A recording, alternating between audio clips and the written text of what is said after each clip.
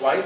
So if you're doing gonioscopy, you see white tissue posterior to the scleral spur, you have gonioscopically identified a cyclodialysis cleft. It's okay? Yeah? It's not okay? okay. All right, now let's look at some other things in the anterior segment. We can either keep the lights on. Oh, the lights. Let's turn the lights back down again. I apologize. Fault. Now, while I am in the vicinity of the Daniel, thank you so much. While I'm in the vicinity of the ciliary body, let me point out to you, especially to the residents, because I know that the subject of anatomy is not so exciting. It's not nearly as exciting as surgery, but it's important. You can see that there are two types of tissues here. You have the non-pigmented ciliary epithelium, the pigmented ciliary epithelium. This is the pars plana. You come forward onto the pars plicata here. By the way, I can tell again, I had one clue that this is an older patient because I saw the Hassall-Henle warts. The other clue that this is a, an older patient is that the processes of the pars plicata are invested with considerable quantities of collagen. Were this to be an infant eye, these processes would be very, very thin, very, very delicate. Mm-hmm. Maybe this has something to do with the composition of the aqueous in an older eye.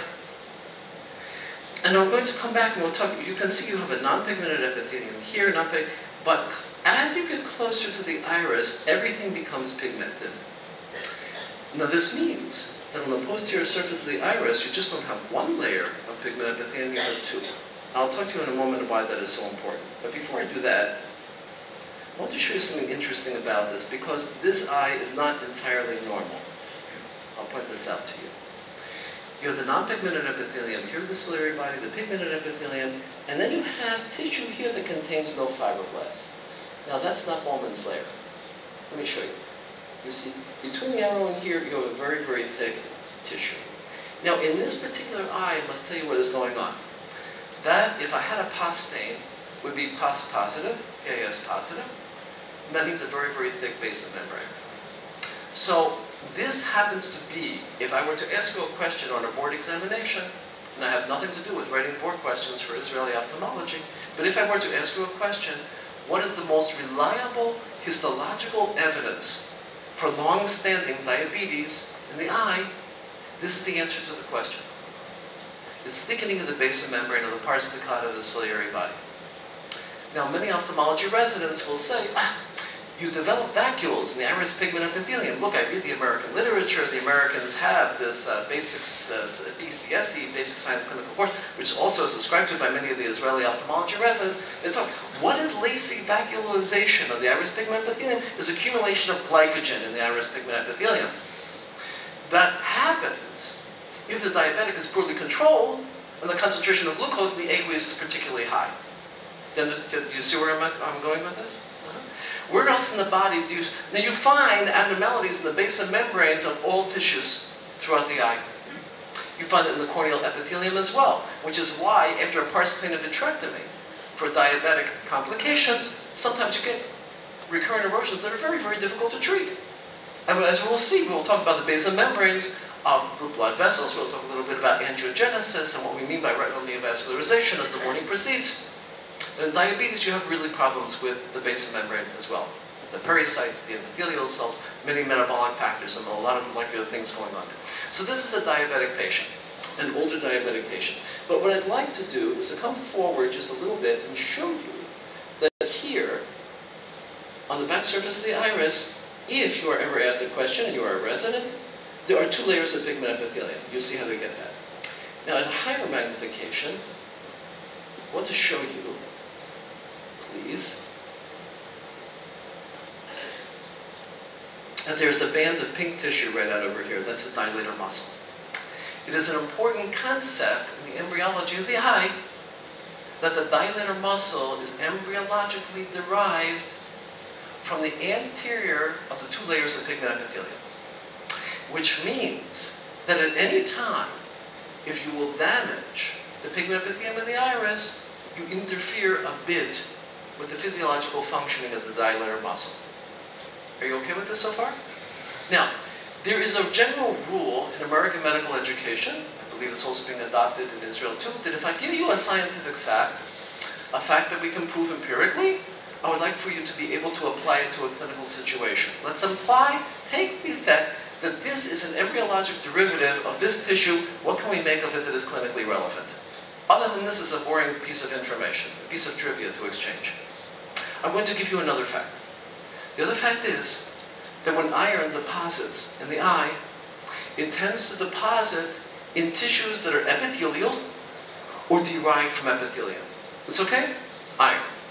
So why would ophthalmologists for my pathology colleagues be so, so worried about iron deposition? The reason is that when you can demonstrate iron histologically, you are with an iron stain, Prussian blue, whatever you're going to use, that iron is in a ferric state. Iron plus 3. Physiologic iron may be an iron plus. So in the conversion of iron from plus 2 to plus 3, there's something called the Fenton reaction in classic uh, chemistry, you generate oxygen-free radicals. And oxygen-free radicals are toxic to tissue. This is why the retinal surgeons worry about, oh, what's the status the electrophysiology and iron toxicity, the A wave, the hypersensitivity, all this other kind of stuff, right? You got to get the iron out of the eye. So let me give you a list of some tissues. It turns out that copper, as in a Kayser-Fleischer ring, right? Patient with Wilson's disease deposits in basement membranes. So in sunflower cataract, where is the copper is deposited? In the lens capsule or in the lens epithelium? What do you think? The lens capsule. The, the Kayser-Fleischer ring is the positive where in the cornea is deposited inside that space membrane. Iron is the positive where? The lens capsule or the lens epithelium? The lens epithelium. In the neurosensory retina, in the, in the retinal pigment epithelium, you understand where I'm coming from, yes? It's okay? Now, do you think that iron is deposited in the iris pigment epithelium. What do you think? Yes?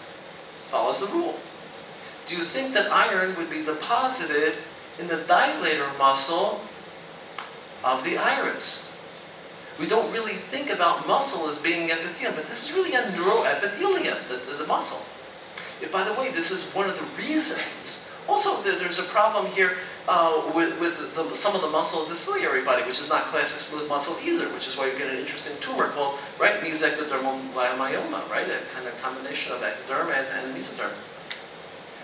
If a patient will have iron toxicity, you will frequently find the pupil in mid-dilation, and you are not able to dilate it any further because you damage the dilator muscle. Let me take an even more radical thing. There is an analog to iron, we don't see it very often, fortunately, but you never know what will happen with decreased immunization. Is congenital rubella. Because the rubella virus, like iron, is attracted to epithelium. This is the reason that when we speak physiologically of the neurosensory retina, you speak about salt and pepper retinopathy. So what is this? What is the salt? The salt is depigmentation of the iris pigment epithelium. So what happens is the iris pigment epithelium undergoes constriction, like can you give me a word in English begins with an A to describe what happens with the pigment epithelium? RPE atrophy. RPE atrophy. That's the salt. What is the pepper? It's RPE hyper hypertrophy. Yeah, not hyperplasia. Hyperplasia. It's a good thought to think about hyperplasia. Hyperplasia would be an increase in the number of the cells of hypertrophy, enlargement of the existing cell. You get. Does congenital rubella affect the lens epithelium? Of course, you get congenital cataract. Now, think, just think for a second now. If the congenital rubella virus will infect the iris pigment epithelium, and it's during morphogenesis, then the dilator muscle will not form, will become hypoplastic, form incompletely. So now my question to you clinically. What is the status of the pupil in a patient who has congenital rubella? Huh? The status of the pupil in a patient who has congenital rubella. Miotic, yeah, miotic and very, very difficult to dilate. Okay? I think I can get this back up and running. I'm going to click on Daniel again, right? Yes? Fabulous. Very good. Okay. Now, I want to point out a couple extra things about the iris while we are here, and then we're going to, we're going to see a lot of pathology in just a moment. I want to point out to you that the iris is not flat. The iris is wrinkled. This is very important, very big source of, of industry, high-tech industry in terms of biometry, because you can identify people there, as I am told, more carefully by the contour of the iris scans, than you can't even by fingerprint.